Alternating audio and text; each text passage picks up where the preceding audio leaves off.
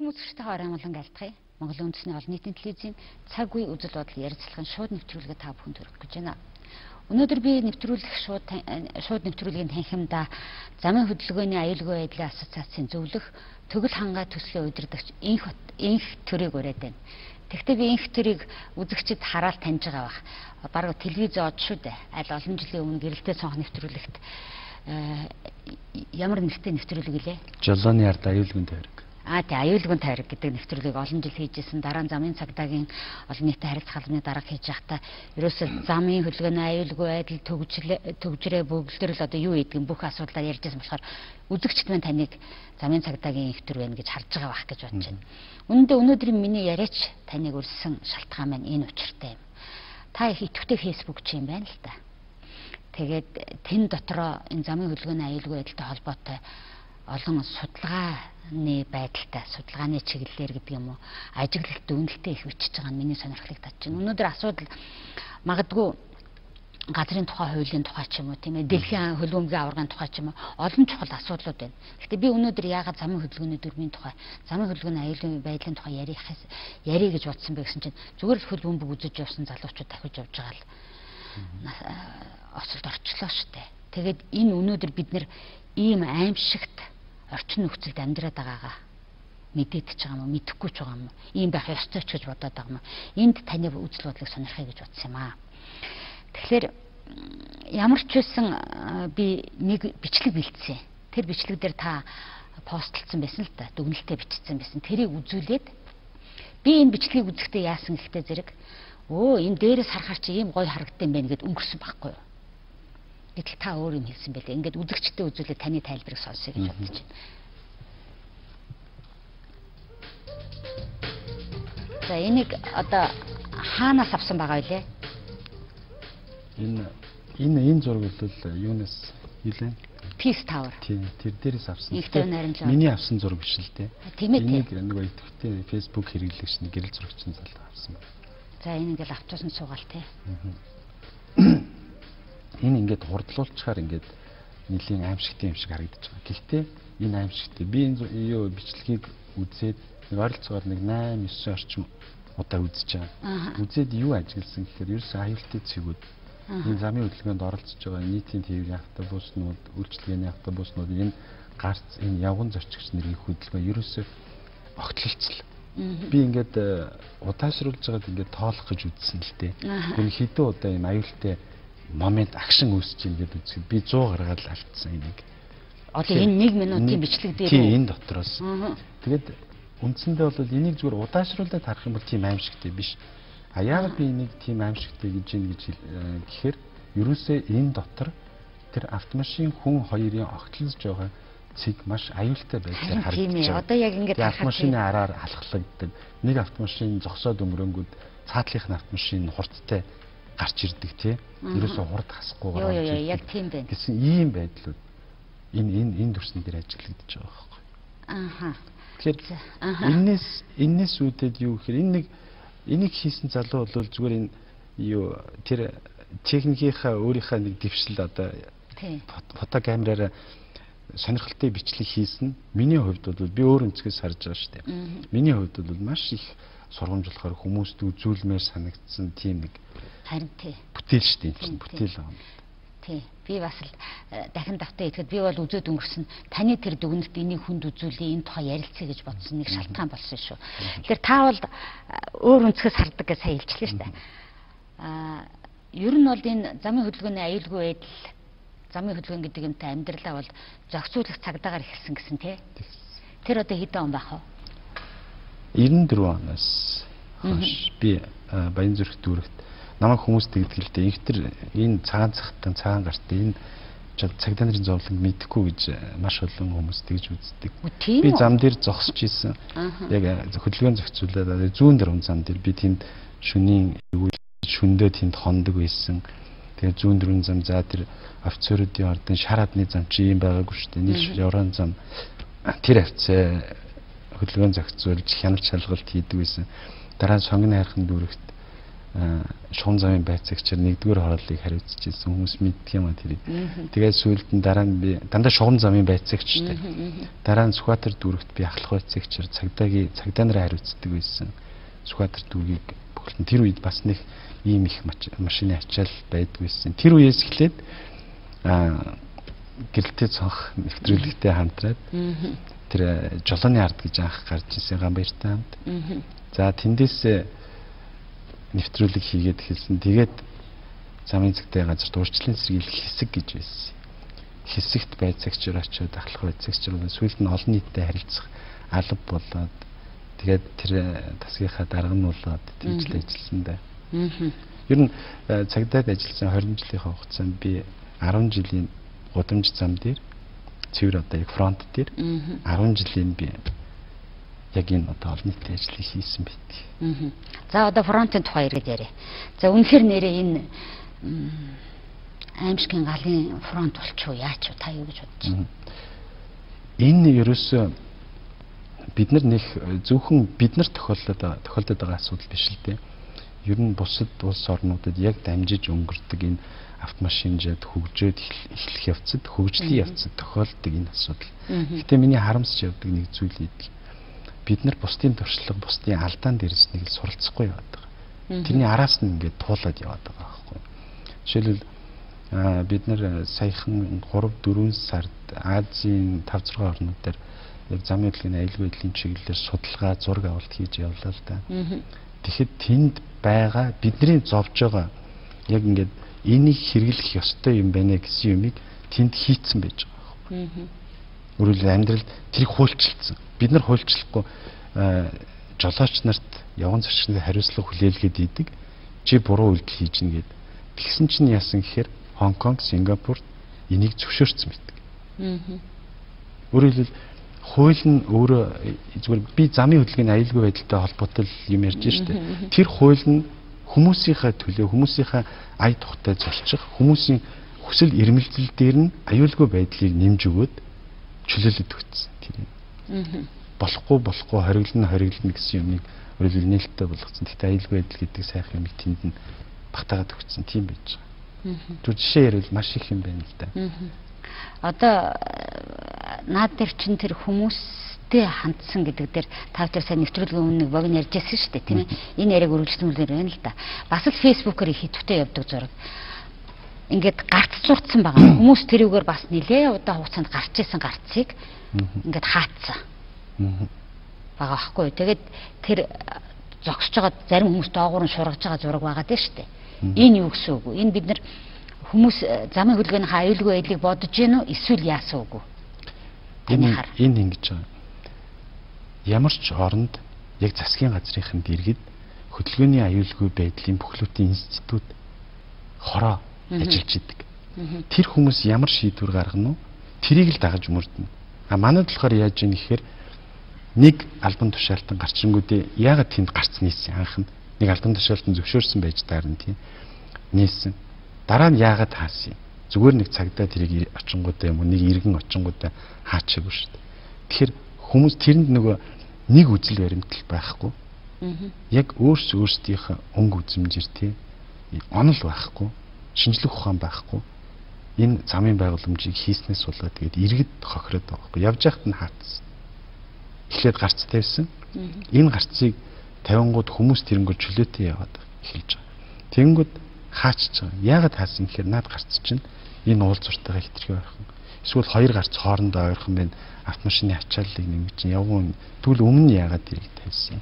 Тэгтээ яг үнэ. Наад би одоо заримдаа боддог байхгүй одоо бас энэ гудамж төсөлгээд энэ гудамжийн юунуудыг харахаар бас э, баярламаар бас зүү юм хийжээ гэж бодмоор байгаа. Гэхдээ энэ дотор ганцхан л нэг юм байна.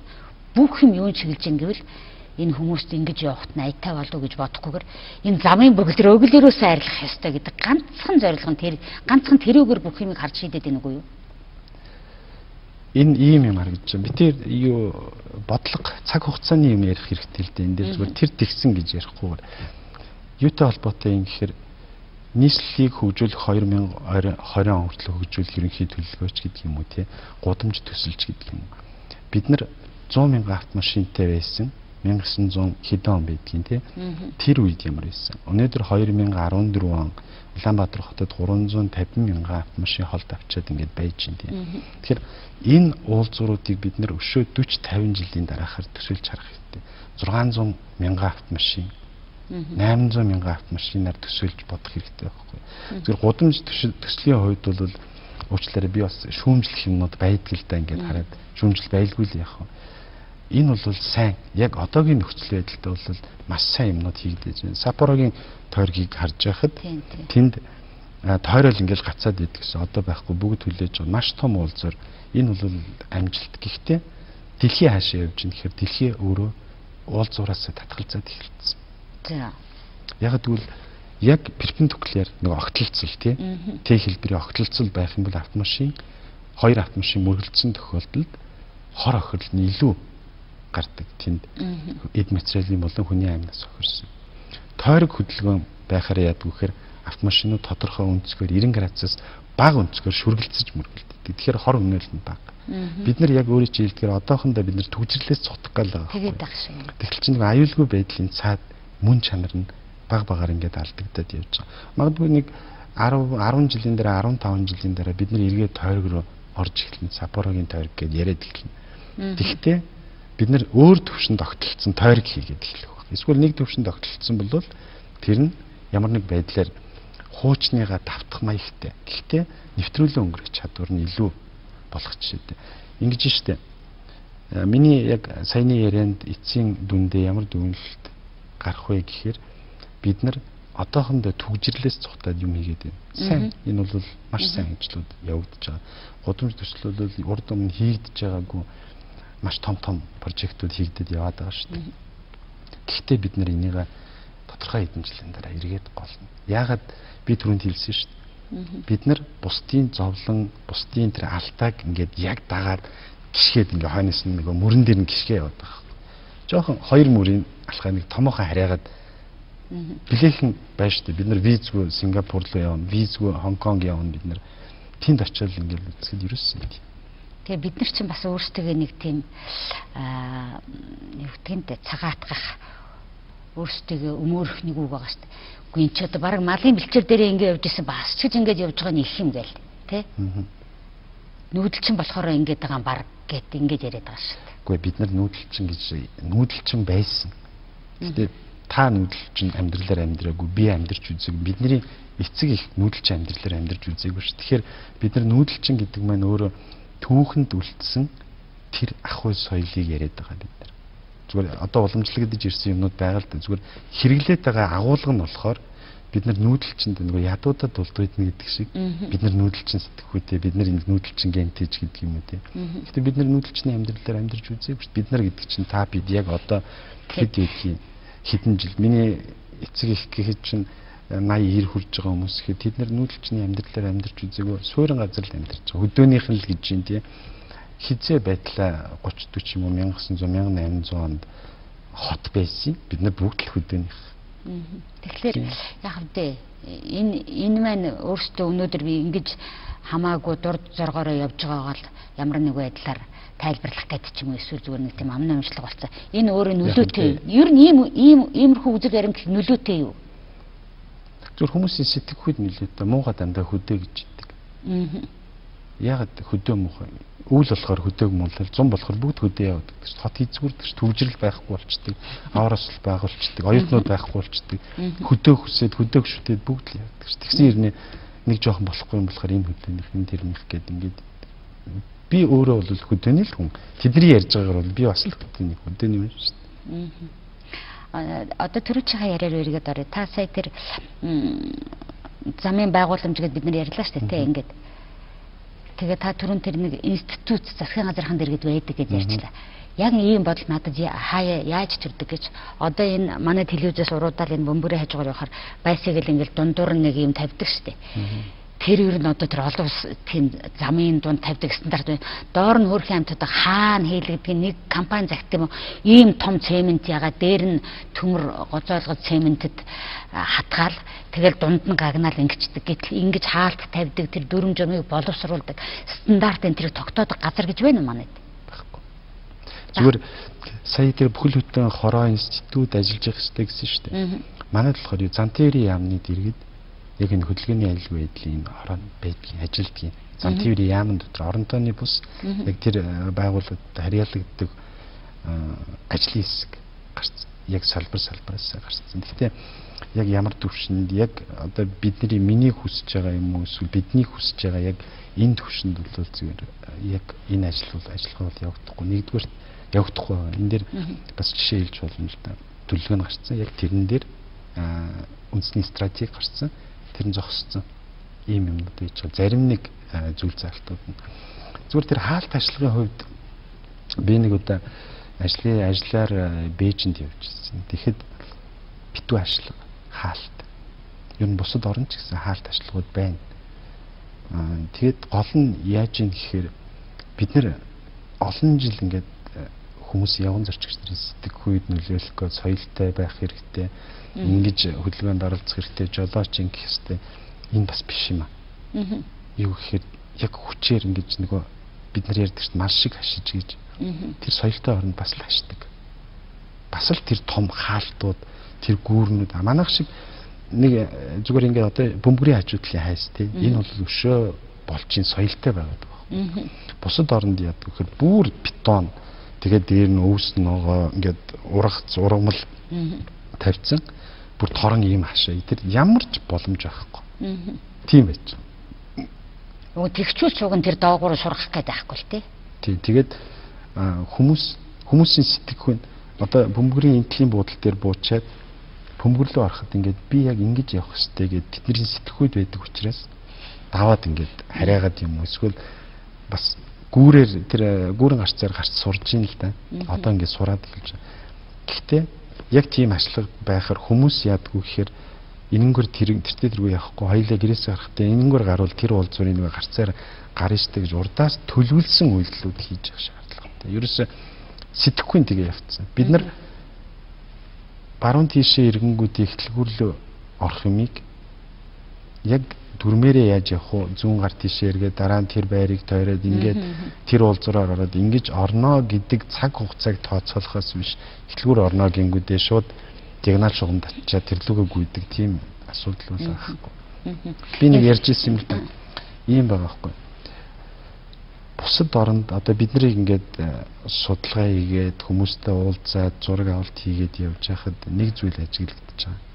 Юу гэхээр автомашинаас автомашинаараа хөдлөлөө зүгээр ийм э, шуудуугаар ингээд жижигхэн бөмбөлөг шайрыг тавихаар тэр шугамаа тэр юугаа ховлоод агаал өнгөрнө үстэй. Тийм яг тэрнтэй адилхан автомашин тэр ховлаараа л тэр замаараа л явна. Өөр ийшээ хальтрах боломжгүй. Ямар ч хурдны зам энэ төр чинь дэгдэг шүү. Тийм тийм. Яна би буруу замаар явчлаа. GPS харж агаад чолооч нар дэгдэг шүү гадаад явж байхад ээ энэнгээр ирэх байсан алдчихлаа. Одоо бид нар дахиад 30 минут явна. Сая ийшээ иргэсвэл 5 минут явах байсан. Тэгэнгүүт биднийхаар бол ухарчи, арагшаа ухарчи. Эсвэл наадхыгаа ингээд зөөлхөнд авчих. Тэгээд ингээд орчих. А тэр алдаа нь тэр жолооч нарын хурдны зам дээр мөсгөл тэр тойрог дээр алдаж байгаа алдаа нь 30 30 минутыг тэр хүнээс авчиж байгаа байхгүй. Тэгэхээр тэрийг мөрдгөөс үр зам би тэгж явж хагаад тэр лүү очдөг. А бидний сэтгэх болохоор тийшээ ингэж орчих. Энд сэтгэхгүй та сэтгэхгүй гэж ярьж байна тийм үү? Тэрүүгээр явахгүй ингээд нэг товчлоо явчихсан. Нэгдүгээр сэтгэхгүй байна. Хоёрдугаарт бүр яалтчгүй тэрийг дагахаас өөр аргагүй тэр барилга байгууламжтай бүх юм барих ёстой юу? Нэгдүгээрт.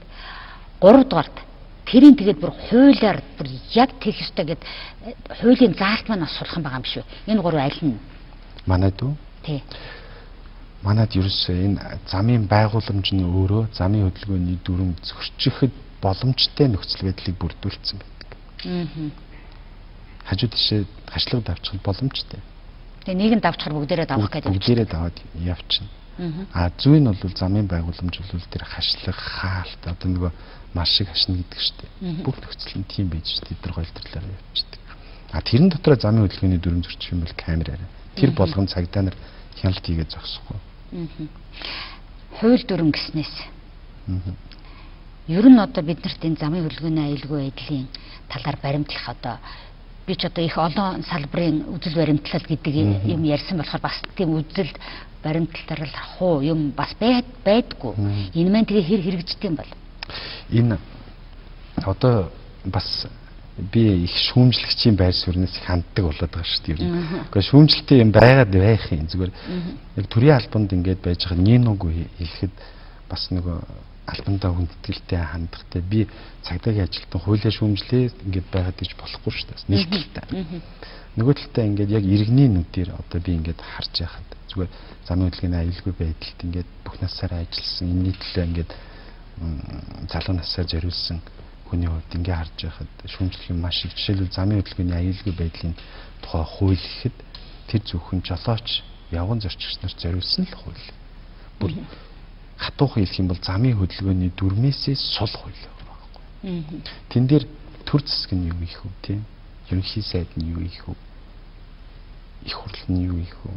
Засгийн захиргаа агентлагийн дараа хариуцсан яам цагдаа нь юу их вэ? Гэт ингээд аж ахуй нэгж байгуулга нь юу их вэ гэдгийг тодорхой тусгаж өгсөн юм юу ч байхгүй. Жолооч ингэж явна, тэгж явна, ингэн тэгнэ. Түүнээс гадна замын хөдөлгөөний дүрэн бол одоо үндсээр нь өөрчлөх болсон.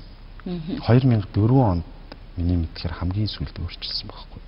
Тэрэн дээр нөгөө онцгой нэг дэвшлэх зүйл нь гэвэл нөгөө гарны оролцоог ашиглах боломжгүй.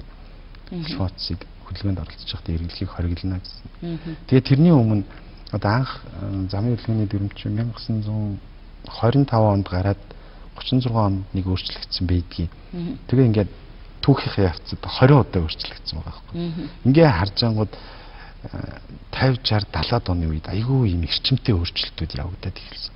Тэнгүүтээ 2000 э, он гараад тэрнээс хойш юм эсвэл нэг 80 90-ад оноос хойш болохоор зүгээр л нэр томьёоны өөрчлөлтүүд л явж жолооч гэдэг үгээ нэг өөрчлөв. Замын гар утас гэдэг яалтчгүй гол хэрэглээ болохоор гар утсыг тэр үед Улаанбаатар хот э, нэг 50 60 мянган автомашин төлсөн. Одоо яаж н пик төвжрэл 300 эдэн машин 4 500 тэгэл өдөрт э, зам твэрээс 100 200-аар 300-аар ингээд гарч. Тэгэхээр энэ дээр бүр замын хөдөлгөөний дүрмийг ингээд яг манайхантай яг энэ хөдөлгөөний аюулгүй байдлын чиглэлээр ажилладаг хүмүүстэй ярих юм бол ингэж ярьдаг байхгүй. Энэ бол цэвэр Оросын замын хөдөлгөөний дүрмийн хуулбар копи.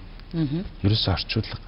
Гэтэ Монгол хөрсөнд боловсрогдсон сайн хууль мөн үү? Мөн сайн. Яахааргүй сайн. Гэхдээ сайн орчуулагдсан, сайн дагаж мөрдөгдөж байгаа хууль бол замын хөдөлгөөний дүрм ялдчихгүй мөн хичээж байгаа. Зүгээр нөгөө талаасаа жолооч нар явган зөрч нэр зөрчээд байгаа шүү дээ. Гэхдээ одоо энэ хуулийн ерөнхий концепц юмнууд нь бол бүгд оронгороо ирэх ёстой бүр байхгүй болж байгаа шинээр гарч ирэх хэрэгтэй. Яг гэвэл автомашины хурд өөрчлөгдчихлээ. Хүмүүсийн сэтгэл зүй, хүмүүсийн хөдөлгөөнд оролцож байгаа байдал, нэгтрал, зам бүгд амьдралын хурд өөрчлөгдчихлээ шүү дээ. Амьдрал шал өөр болчихлоо. За энэ дэр би нэг юм асуугаад таа. За та хуулийн дүрм залтууд өөрчлөгдөх тухай ер нь шаардлагатай тухай ярьж штэ. За тэр үзэл би өөрөөр үзэл баримтлагыг нэлчихэр та тийм ээ. Тэр үзэл баримтлаг дотор ч өнөөдөр Монгол улсад энэ зүүн талдаа хүрдтэй машин явах хэрэгтэй гэд байдсан байгаа үү. Тэгээ одоо өнөөдөр манай улсын хэдэн хувь нь буруу талдаа өрүүлтэй машин жолоодож явж байна. Энэ чинь аваар ослын их болоод байна гэдэг. Энэ тухай яагаад ярьдгүй юм бэ? Ярьдаг шүү дээ ер нь.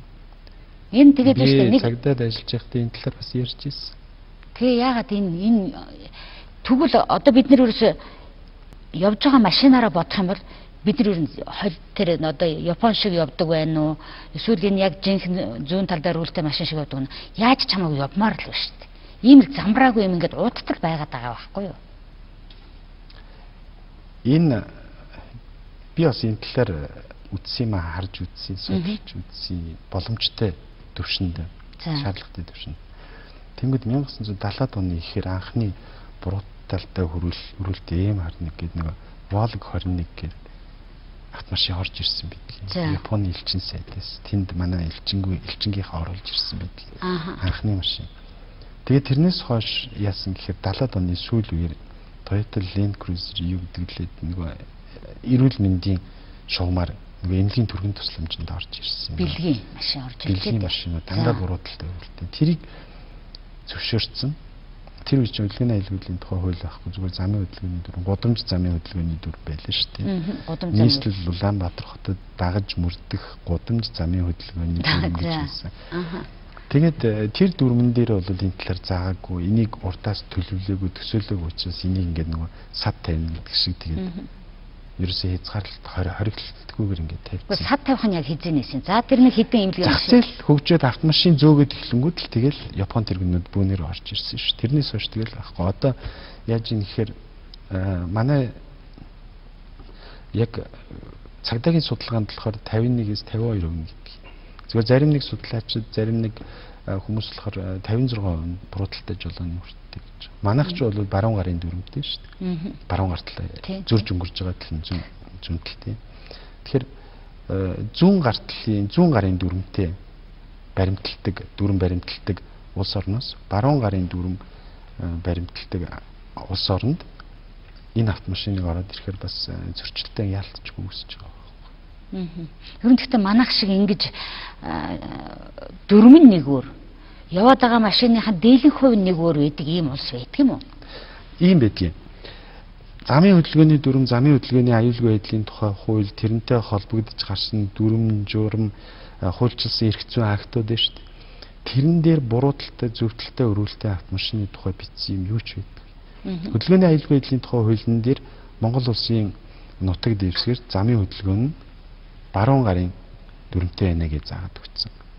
Гэхдээ энэ зүүн гарын э, дүрмтэй автомашин одоо өөрөөр хэлбэл бурууталтай жолооны үртэй автомашин явахыг хориглоно гэсэн ийм залт байдг байхгүй. Тэгэхээр одоо хуулийн дүр энэ дүрм дүүрчт орохоос нааш энэ бай ингээл яваад байна гэж бодох юм уу? Яах юм бэ? За тэгэнгүүт ингэсэн байгаа. 2012 оны 5 сард э, засгийн газрын тогтоол гардаг юм. Хөдөлгөөний аюулгүй байдлын э, хөдөлгөөний аюулгүй байдлыг хангах үндэсний стратеги. Тэр стратеги дээр 2020 он хүртэл замын хөдөлгөөний аюулгүй байдлыг хангах чиглэлээр ямар ямар ажлууд хийх вэ гэж графикчлаад өгсөн байж байгаа. За эн чинь 6 жилийн дараа юм байна тийм үү? За. Тий одоо 6 жил үлдэж. Тий 2012 онд тийм тийм юм хийнэ. Нас оролтыг төдөө замыг хатуучлалтай замыг хамгаалах бүсийг төдөө нь хэрэгэлдэг болгон цагдаагийн юу лээ хөдөлгөөний аюулгүй байдлыг хангах алба юу мэрэгсэн алба агчийг төд болгоно энэ төргээд бүр нарийн заагаад өгсөн. Тэнгүүд 2012, 2015 2020. Тэнгүүд энэ одоо баруун баруун гарталтай жолооны үртэй автомашиныг 2012 онд 55% болгоно. 2015 онд 75% болгоно.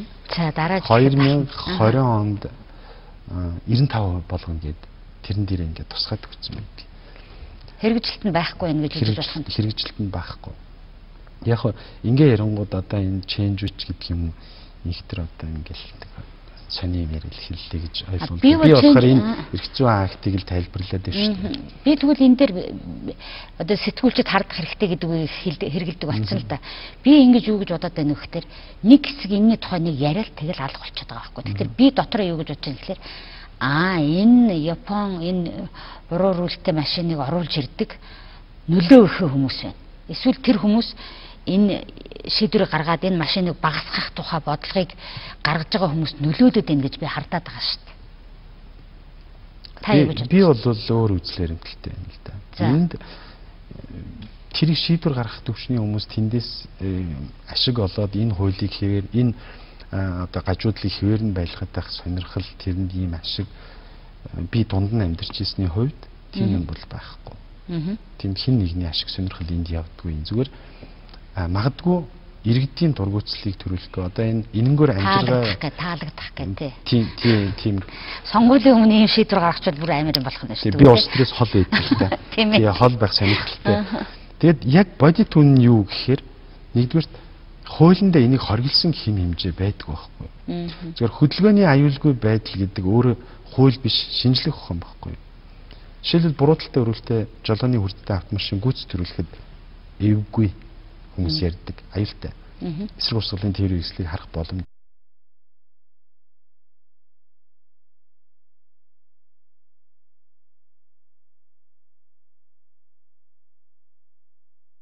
нэг тайлбарыг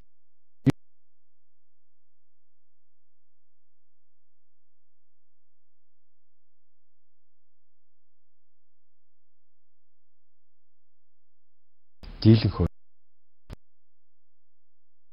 яаж юм гэхээр би хэрвээ энийг оруулж ирэх сонирхолгүй энийг зөвтөлтөй болгохын төлөө тэмцэж байгаа бол энийг тэр жолооны хүрднээсээ болсон гэж тайлбарлаад байх сонирхолтой болчихж байгаа. А хэрвээ энэ байх ёстой гэвэл үгүй уучлаарай энэ энээс болоогүй байхгүй бүх машин л аваар хийж байгаа. Жишээлбэл Hyundai Hyundai-гийн машинууд ч гэсэн зам тийр бас гаргаж байгаа. Тэгээ эндээс нэг дүгнэлт гарч ирнэ л дээ. Юу гэхээр дүгнэлт юу аах вэ? Яг бодит үннийг ингээд гаргаад ирэхээр ерөөсө буруу талтай өрүүлтэйгээс юу зөв талтай өрүүлтэйгээс юу гих биш. Япон автомашины эзлэх статистик үзүүлэлт нь бусад автомашинаас илүү. Аа. Тэгэхээр гаргаж байгаа зам тээврийн осол нь яг тэрнтэйг ижлэх нь яг үзүүлэлтээр ингээд пропорционал яваад байгаа. Тийм зүйл ажиглагдаж байгаа. Тэгтэл энэ бол аюултай. Жишээл гэрлийн тусгал нэг чинь тий. Зүүн гарын дүрмтэй оронд яг зүрж өнгөрөх талынх нь гэрэл нь үйлдвэрээсээ жоохон дээшээ идэг. Хэрвээ миний фэйсбүүкийг жоох ухуул тэр талаар байж байгаа л да. Тийм үү. Аа зүрж өнгөрөх тал нь дээшээ иж байгаа. Манайд орж ирсэн. Тэр нь яадгүй гэхээр яг тэр орондоо тэр орондоо дээшээ өлгөр хэсэг нь замынхаа хажуу талыг гэрэлтүүлдэг. А жоохон нам хэсэг нь яг уртлынхаа зүрж өнгөрж байгаа тээврийн хэслийг. Тэнгүү тэрийг манад ингээ авчирчингууд зүрж өнгөрж байгаа тээврийн хэсэл рүүгээ ингэж өлөлцөөд идэв байхгүй. Нөгөө жолооч нар чинь тэгдэг дээ ингээ уулзсангууд ичний наадах гэрэл чи ямар амир юм бэ гэхээр үгүй би ойр дээрээ тавьсан чи хардаа гэд ингээ харахаар хөх гэрэл нь асаагүй ч идэх холын гэрэл нь. Тэгсэн ирнэ ингээд гэлбуулаад идэг зарим нь ингээд шилжүүлээд байгаа ирнэ ингээд зүгээр тэнд нэг гэрэл нэг үл ялэг дээш доошо болсноо гэлбан хэвээрээ идэг энэ ч бас энэтэй холбоотой. Жишээлбэл скандинавын орнууд гэдэг юм уу англиас европ руу авт туризмээр явж байгаа хүмүүс Европын хил дээр ирэнгүүтээ тэнд нь юм жижигхэн юм хөмсөг лент наадаг. Тэр нэг өлгөр хэсэгт нь лент наагаад тэгээд тэр орнуудаар аялал аялж зугаалж явж байгаад буцаад хил рүү орохоор тэр лентээ буцаад авчдаг. Юм байна. Та миний нэг өөр нэг асуулт энэ их сонирхолтой мэдээлэл да. Баярлалаа. Миний өөр нэг асуултанд асуусан. Манайх шиг ингэж дөрмөн өөр мөртлөөсөө машиных нь бараг 90% нь буруу талдаа дөрмийнхаа эсрэг хүрдтэй ийм машин байдаг улс байд юм уу гэж асуусан. А? Африкийн орнууд. Африкийн орнуудад тий. Хамгийн сүүлд Орос жишээлбэл болчлоо шүү дээ. Юу буруу талтай жолооны хүрдэг тас оргилчлаа шүү дээ. Гэхдээ улаан үдч гэдэг юм уу наагур ингэ яж хаад мерсээр харагдсан. Зүгээр Японд ч юм бусад орн ч гэсэн үе үе эсрэг талын жолооны хүртэй автомашин явж идэг. Тэр нь илүү татвар төлдөг. Зүгээр би нөгөө аялагч амаа шүү дээ тий. Тий. Золоёр. Тий. Золоёртой саяхан би уулзчихсан. Яг энэ талаар би асууж ирсэн. Тэнд ямар байна? Жолооны урд манах шиг ингээд холимог байна уу? Тэгэхээр манах бол яг дөрмийн урсгал чиглэл нөгөө айл гартлаа барьж явах тэр нь бол жин тан штэ. Ямар ч зөрчилгүй зүгээр урсгал сүрдэг нөхдүүдийг стооцвол. А тэгээ амаа юу гэж юм гэхээр байна. Африкийн орнууд ерөөсөө энэ Япон, Мопон, Солонгос, Молонгосоос ингээд яг манах шиг зөөж ирэл тэнд нэстэ нэвситл унаал идгээл тэгэл засгчгүй тэгэл пирэн паран гэл хайдаг баруун зөнгөө явж идэг тийм бүр тэр тэр орнууд л Европ тийм биш Азийн орнууд чинь Азад ядуу буурай орн баг байхгүй болчихлоо шүү дээ дандаа өндөр хөгжилтэй орнууд зүгээр зарим нэг орны стацул дийлэнх нь тэр Азийн орнууд ийм холимог дийлхэ байцсан. Одоо манайх бол нэг талтай дийлхэ байцсан асуудал л та. Харин тийм энэ гэхдээ таны э, судалдаг, таны сайн мэддэг салбартай хамаагүй гэж магадгүй. Гэхдээ би зүгээр энэ бүхнийг ингээд харахаараа одоо өнөөдөр бид нар чинь энийг юм хямдхан Япон Японы Япон солонгосын ийм хямдхан машинуудыг авчираад юу нөгөө уран цөмийн бодисын оршуулах. Энд ийм муудаад тэндээ хайж болохаа гэсэн машиныг бид нар авчирч оршуулдаг юм биш үү заримдаа бодогддөг юм зүгээр э, тэгж бас бодож э, бодох нь нөгөө хардах хэрэгтэй гэдэг чиг бас та нар бодох хэрэгтэй л дээ. Гэхдээ Японд жишээлбэл энэ одоо бид нар яг даах хүрээ зах дээр судалгаа явуулж байна л да. Тэрэн дээр чинжүүдийн ингээд оруулж ирж байгаа автомашиныг үзэхэд он 10-аас доош жилтэй автомашиныг орж ирэх сонирхолгүй. Яг тэгвэл татвар нь өндөр. 5-аас доош жилтэй оруулж ирэхээр өшөө татвар нь хэлбэлзэлтэй ингээд байдаг. Тэгэхээр ерөөсө болжгүй шинэ машин нэг он залуутай автомашин оруулж ирэхийг хүсдэг. Ягаад Япон автомашиныг оруулж ирэхийг хүсэж байна гэхээр чанарын тухайд бид нар хариулт өгöd байгаа байхгүй юу? Чанар бид нар солонгос тэргийг бол чанаргүй гэдгийг чинчүүд автомашинаар занималдаг одоо яг бид нар бол энийг сайн мэднэ. Тэгэхээр солонгос тэрг бол гүйлгээ муутай. Хүмүүс тэр болгоо ундаггүй гэсэн тийм хариулт өгдөг. Тэгэхээр Япон тэргийг хэдий хуучин ч гэсэн хуучин гэхээр би нэг 5 жил дотроо яриад юм л та. Чанар чансаа комфортороо бусад машинуудыг давмгаалаад идэг. Тийм учраас ингэж оруулж ирдэг байхгүй. Зүгээр тэндээ хог болсон тэргүүдийг оруулж ирдэг байсан үе байдаг нөгөө залгадаг тий тэнд нь хайчлал очронгуудаа залгаал зардаг байсан үе байгаа шүү дээ 2000 биш 1995 6 оны нөгөө зах зээл шилжингүүдээ шилжингүүд яг чэнжүүдийн нөгөө идэвхтэй яг үйл ажиллагаа нөгөө ашигтай үе тэр үед. Одоо бол бас гайгүй болж байгаа гэж. За за ямар ч үсэн тэгтээ энэ Африкийн одоо бид нар ч муугаар ярихаараа хөгжил дорой жоохон юм замбраагүй гэдэг л жишээгээр тэрийг ярьж байгаа л да тэрнээс биш.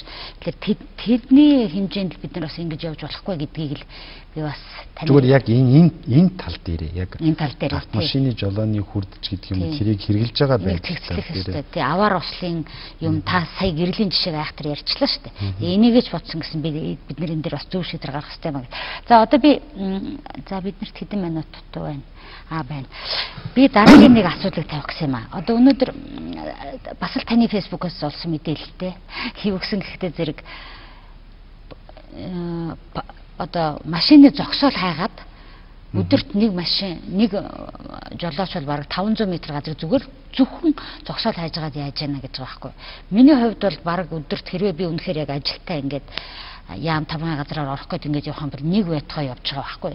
Жишээлх юм бол би соёл спорт аялал жуулчлалын яам руу орох гээд одоо нөгөө барилгын яам энтертэй хамт тийм ээ? Барилгачдын талбай тийш э, нөгөө төлбөртэй зогсоолтой болцсон. Орлоо. Тасалбар өглөө. Яваад байлаа засвар заа яасан чинь ингээд буруу хазгаа тавьсан арай багтахгүй. Явсаар байгаад зогсоол олдсонгүй буцаад гардаг хаалган дээр нэрээд өгсөн чинь 500 төгрөг гэхгүй надаас. Гэхдээ би зогсоол олсонгүй. Би энэ дуг нь ийшээ ороод нэг 20 минутаа ажил хийсэн чинь 10 минутын дотор 500 төгрөг байдیں۔ Гэд ингээд загнаад авчиж байгаа байхгүй юу. Тэгэхээр 500 м байтугай явчаа. Дахиад 500 төгрөгөөр ягаад энэ паркны асуудлыг бид нэр нь яаж цэгцэлж яаж? Энэ одоо дуртай одоо нэг жоохон газар болгонд л ийм хаалттай төлбөртэй зогсоод бий болчлоо. Энэ ингээд цааш явах нь. Яах вэ тэгээд?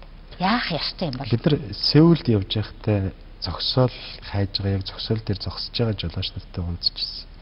Тэгэхээр тэд нар юу гэж юм гэхээр зогсоолын асуудал хөндөөхөр үгүй бид нар зогсоолыг мэдж байгаа тэрэн дотор багтаамжийг мэдж байгаа. Гэхдээ бид нар зогсоолыг хайх үе байдаг. Гэхдээ бид нар тэр зовлон ихэр барагтай бол байхгүй. Яг гэвэл бид нар зогсоол тэнд зогсоол байдаг гэдгийг мэдчихнэ. Тэнгүүд яваад очингууд гэрэлтээ самбар тэрэн дээр энд 40 зогсоол сул байна.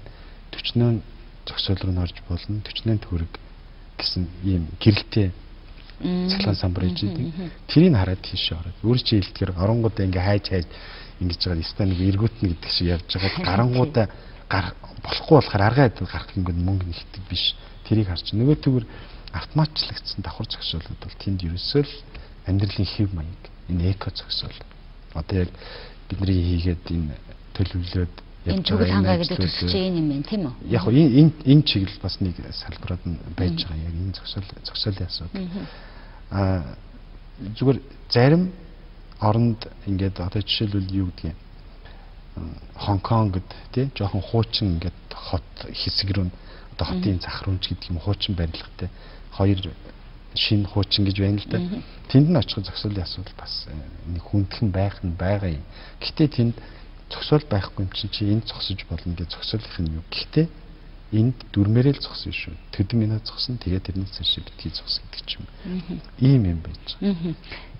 Яг энэ ярианы дараа би асуултаа төр зогсоогоод энэ ярианы дараа би бас нэг бичлэг үлдсэн юм аа. Өөрөө чинь юунаас энийг яагаад бас үзэгчдэд тайлбарлаад явъя тэхүү. Энийг одоохондоо бид нар яаж ашиглаж болох вэ гэдгийг бас нэг одоо бүх газрын гадаал юу байгаа юм чи одоо манай найруулагч үзүүлэх байх.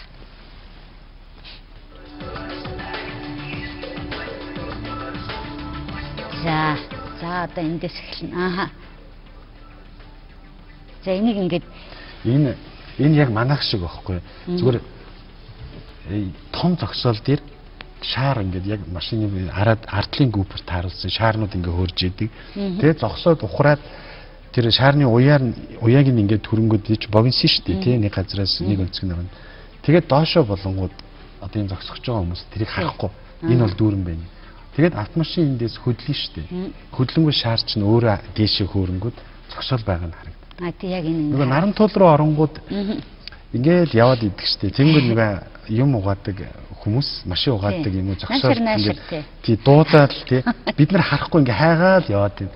Тэгээд өөрийнхөө игнэл явж байгаа л азар ингээд маш зогсоолох мөл чихэн тэр лөө. Одоо тэдний тэр үйлдэлийг л ингээд энгийн хэлбэраар ингээд шийдсэн байна. Бид нар замын хөдөлгөөний энэ үргэлжилж байна тийм. Тийм. Дахиад үзүүлж манай нариулагч аа тэр яг ингэж бид нар бид нар замын хөдөлгөөний дүрм, замын хөдөлгөөний аюулгүй байдал, төвжирэл саатал зогсоол гэхээр нэг том юм бодоод идэв.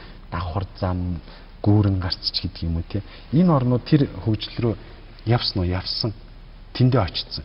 Гэхдээ яг хүмүүсийн сэтгэл зүгээрч гэдэг юм уу хялт хямд төсөр материалаар одоо нэг хөгжилтэй хэлбэрээр хүмүүс таалагдах байдлаар ингэж янз бүрийн одоо аргачлалуудыг боловсруулад ингэж хийж байгаа ийм юмнууд маш их хөөрхөө энэ надад маш их таалагдсан. Тийм энэ энэ бол э, зүгээр наран туул дээр байж байхад бас гимгүүл зүйл. Тэгэнгүүт сонсож байгаа хүмүүс тийм л дээ. Манайхан тисгэх гэнэт гэж аваа явчихна. Аваад ингээд тоглоод хүүхдээ аваад явчихна хүмүүс ингээл ярихаар тийм юм. Нэг манайхан ч айгу өөнтөгч нэг шүүмжлэх дуртай хүмүүс шүү дээ. Аа тэгж л идэх юм.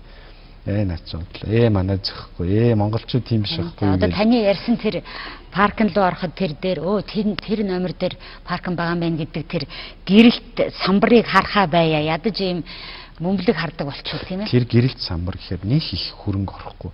Тэр нөгөө тасалбар өгөөд байгаа нөхдүүд нь шүү дээ. Тэд нар л харж байгаа л тэндээсээ удирдаал ингээ явуулж байна. А тэд нар тэгтээ зөксөөл тодорхой яаж арах вэ гэхээр мэдээж камераар харж байна. Энийг одоо нэг төсөв мөнгө гаргаад ингээд хийх ажил биш шүү дээ. Зүгээр одоо ер нь Азийн ихэнх орнуудад тэр байж л байгаа.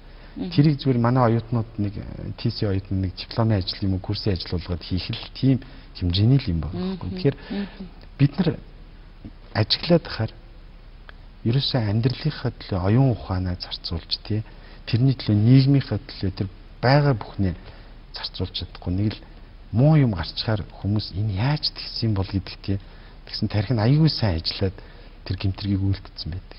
Тэр сайн сайхан юм дээр болохоор энэ рүү ингэж зүтгэхгүй, энэ рүү ингэж бай гэж бодохгүй энэний төлөө ямар нэг байдлаар сэтгэл зүйн байхгүй нэг л Улаанбаатарт өнөөдөр хоноод маргааш явах гэж байгаа хүмүүс шиг л амьдраад их нийслэж байна. Яг бус орнуудыг харчаад тэгээд эргээд өөрийнхтэйгээ ингээ харьцуулаад үзэхээр нэг л хөндөй хүйтэн харагдаад идэх юм уу ийм бодол төрөд идэв шүү дээ. Та өчрөө яриа дахиад эргээд сэтгэлгээ сэтгэл дээр буучлаа шүү дээ. За за за ингээд ярилцлагын цаг дуусах чинь би тэгээд төгсгөлд нь би таныг хамгийн сүүлд л ихэд оюутан залуучуудад тийм санаа өгөхөр өгүүлбэр хэлчихье гэж бодож байна. Дипломын ажил олгоод хийчихэд яагаад болохгүй гэж. Бас би энэ тал машин зогсоол ажилуулад тэр өдөртөө хэдэн төгрөгөө авч байгаа хүмүүст ч гэсэн бас санаа өгөхөр санаанууд битэрийн дунд ярианаас гарсан баха гэж бодож байна. Тэгээ би төгсгөлд нь зүгээр таныг энэ салбарыг мэдэж бас өөрийнхөө дүгнэлтийг бод хийж явдаг хүний хувьд өнөөдөр бид нар ч одоо машин яавал хурдан явах уу, яавал тогтой байх уу, яавал ингэж мундаг явах уу гэж хүн төрөлхтөн чинь энэний төлөө явчихжээ. Гэсэн өнөөдөр яаж машин энэ аваар ослыг цөөлөх үү? Яаж хүнийг аюулгүй энээс аврах уу? Яаж осод аваар болсон тохиолдолд хүн амьд гарч болох уу гэдгээр үгээ орчлоо шүү дээ, тий. Тэгэхээр энэ энд одоо бид нар ямар байдлаар хандах хэвтэй. Ерөөсөө машин бариад явж байгаа хүн болгонтэй адилхан би машинтай байх хэрэгтэй гэж бодох юм уу эсвэл одоо өнөөдөр дугуйн замны тухай яриа л байна тийм ээ энэ энтрийгээ бид нэр хэр ойлгож дахиад нөгөө нэг сэтгэлгээний тухай ярьж байна. Хүн төрөлхтөн автомашиныг үүсгээд автомашиныг хийж эхлээ 100 гаруй жил өнгөрчлээ тий бараг 200 жил болох гэж байна тий.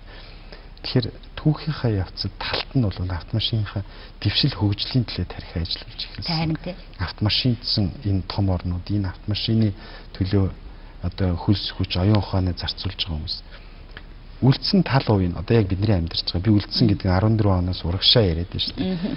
Автомашиныхаа эсрэг юу хийх вэ гэдгийг бодож эхэлсэн. Эсрэг гэхээр зүгээр ойлгох хэрэгтэй. Юу гэхээр автомашин биднэрт сайн зүйлийг авчирсан тээвэрлэл та хөгжил тий богино хугацаанд их цаг хожих тий хөдөлмөрийн бүтээмжийг авчирж байгаа. Одоо эсрэгээр автомашинаас татгалзаж байна. Автомашины хор хөнөөлийн илүү мэдэрч эхэлж байна. Энэ бол аюултай экологийн хувьд, дуу чимээ, эрүүл мэнд, орон зай, цаг хугацааны хувьд. Тэгээд энэ одоо жишээлбэл дэлхий дээр зам тээврийн ослоор нас барагчдын тоо бусад халдвар тус өвчнөр нас барагчдын 5 дугаарт нь орж байгаа байхгүй. Хэрвээ энэ ирчээрээ явах юм бол бид нэр 5 жилийн дараа гэхэд 3 дугаарт орно гэж байгаа байхгүй. Тэгэхээр өшөө бид нэр автомашинаас татгалзаж татгалзна гэхэр зүгээр ойлгох тийм явган явна гэсэн үг. Зүгээр явган явах нь явна тийм. Гэхдээ автомашиныг яаж боловсронгуулах вэ? Яаж хүн алддаггүй болгох вэ? Яаж онхолддггүй болгох вэ? Яаж жолооч нь унтдаггүй болгох вэ? Яаж архиусан жолооч дотор нь суунгууд асдаггүй болгох вэ? Гэт эннийхээ төлөө зүтгэхэд байгаа. Энийн нэг илэрх нь автомашингуудэр манайх хамрагт. Ази Ази 5 орнд тэмдэглэдэг автомашингуудрыг зохион байгуулдаг. Тэрний нэг нь Монгол улс болсон шүү дээ. 2008 онд. Тэгэхээр хүмүүс автомашинаас татгалзаад өшөө эрүүл эко амьдралыг хүсэж эхэлж байгаа байхгүй. Гэтэл автомашины нөгөө хийдэг хүмүүс чинь өшөө энийг боловсронгуй болгох, өшөө хурдыг нэмж өгөх тий. Гэхдээ бас яг аюулгүй нөгөө safety гэдэг чинь аюулгүй тал нь бол ирж хайсан тэр ирэлтээ бол гүнзгий орсон ийм л байдалтай гэж байна. За тэгвэл дугуйн зам дугуйн зогсоолын хувьд бол манайд боломжтой шүү дээ. Дугуйн зам гэхээр нэг л нүсэр том бүтээн байгуулалт гэж ойлгоод байгаа байхгүй. Тийм л дээ. Ер нь тэгж л ойлгодог. Тэгэхэд яаж юм гэхээр одоо зорчигсгийг ингээд та нар хараарай. Тэгэнгүүт 3 игнэ яаж байгаа. Тэнгүү төгжрээд эхлэнгүү 5 игнэ болцсон байдаг. Яг 5 игнэ. Тэр машинууд агшчихаагүй шүү дээ. Тэр чинь ингээд шахаа шахаад боломжтой зай байгаа хгүй. Тэрийг бид нар ашиглахгүй. Нөгөө л стандарт. Нөгөө л норм журмаа яриад тэрэнгөөр нэг том зай нөгөө хэдэн онд гарсан стандартын тий тэр зайндаа л ингээд 3 машин зогсон түүжрэнгүү 5 машин орчдөг тий тэнгүү тэрийг боли 4 машин болгоё тий тэгээд игнийг нь өшөө олон болгоод тэгвэл өшөө нэвтрэн өнгөрөх чадвар нь нэмэгдэж байгаа нөгөө тэгвэр тэр зай зайг шахангуудад дугуйны зам гаргаад өгчих хэрэгтэй. Нэг метр л зам. Японд жишээлбэл бүр ингээд зориулагдсан автомашины зам шиг дугуйн зам байх юм. Зүгээр замын зорчигсгийн хажууд нэг метр хүрэхгүй хэсгийг цэнхрээр бодонгуудаа дугуйн замын тэмдэг тавьчих дугуйн зам гэж байгаа. Би өчигдөр 7 буудлаас 5 буудал 32-ын тойрог хүртэл явж байхдаа замын хажуугаар нэг нэг юм сонирхолтой юм хараад бүр баярлж тий. Юу гэхээр 7 буудлаас 5 буудал хайлаастын уул зүр хүртэл замын хажуугаар явуу үний зам байж байгаа. Ая маш өргөн явуу. Тэрний хажууд дахиад маш өргөн шороо хэсэг гэж байгаа байхгүй. Тэр хууч аяг зүлэг мод бут тарина гэсэн зорилттой байсан баг. Зүгээр шороо. Тэгэхээр яг яг тэр автомашиныхаа нэгтгэлийн зорчих хэсгийн өргөнтэй адилхан сул юм байгаа байхгүй. Тэрийг л зүгээр л явуу үний замыг бүхэлдэн тавиал будаад дугуйн дахиад тавьчихна. Их зардал байхгүй тийм. Тий. Тэгээ дахиад сэтгэл байвал, хүсэл байвал тийм ээ бүтнэ гэж. За ингээд энэ удаагийн хаярлахыг өгөр өндөрлөё. Гэхдээ таны ярианд гарсан шиг би одоо энэ бидний их л том хууль яриад шийдвэр гарах хүмүүст нөлөөлөх гээл ингэх юм. Гарцсан байгаа хуулиа мөрдөхгүй л шүү дээ бид нар. Тэр буруу үрүүлтэй машиныг авчраад явуулаад энэ мөрдөхгүй л байна энэ дээр жолооч нарын хаан сэтгэлгээ энэ шинжлэх ухаанч байдлын өөрөөр хэлэх юм замын үлгэний аюулгүй байдлын талаас стандарт тогтоох техникийн асуудал дээр мэрэгжлийн хүмүүсийг сонсох асуудал бас дутагдаад байна гэж бодож байна. Ямар ч үсэн энэ талын яриа та хоёрын яриагаар бас зарим асуудлыг хүндсэн байх гэж бодож байна. Гэтэ та бас цаашдын тухай ярьсаар л байх бах тийм ээ. Тийм ер нь э, зүгээр миний ажил өөрөө намайг энэ амьдралын хэв маяг руу оруулсан учраас би жишээлбэл замын хөдөлгөөнгүйгээр ч юм уу замын хөдөлгөөнийг бодохгүйгээр өөр одоо юу гэдгийг те нэг хувцсны гэх юм. Тэр замын хөдөлгөөнгүйгээр жишээлбэл одоо ямар нэг байдлаар би өөрийгөө төсөөлдөг л байхгүй. Тэгэхээр тэр л гэсэн үг л дээ. Тэг ингээд явж хахад ийм зүйл ажиглагдаж байгаа юм л да. Би энэ төсөөлт нэлчихэд цаг нь болцсон баг тийм. Аа зүгээр зүгээр. Нэг ийм зүйл ажиглагдаж байгаа бид нар ингээд замын хөдөлгөөний талаар ингээд зураг аваад ингээд заримдаа цагдаа нар ирээд юу шалгах юм бид нар ч яг альбан альбан альбан журмаар яваагүй шүү дээ. Өөрсдөөсөө зардал гаргаад өөрсдөө явж байгаа юм чинь. Тэгээ ингээд явж байхаар нөгөө камер барьж исэн манай эдийг ирээл цагдаа нар шалгах юм. Аппарат би ингээл фотокамераар аппаратаар зураг авч байгаад ирээл ингээ үзэх юм. Тэгээ яг хөө тэр нь үздэг юм бас 10 нэг л ингээл зам мам тэмдэг тэмдэглэл тэгэл гэрлэн дөхөө авцсан л зураг өгдөж. Айгүй их санаа авах юмнууд байж. Нэг улс гэхэд л ерөөсөө бид нэр яагаад энийг бид нэр хийж болов их мөнгө хөрөнгө биш тий. Зүгээр нэг жоохон нэг нэг элементарны гэж ярьдаг юм байгаа байхгүй.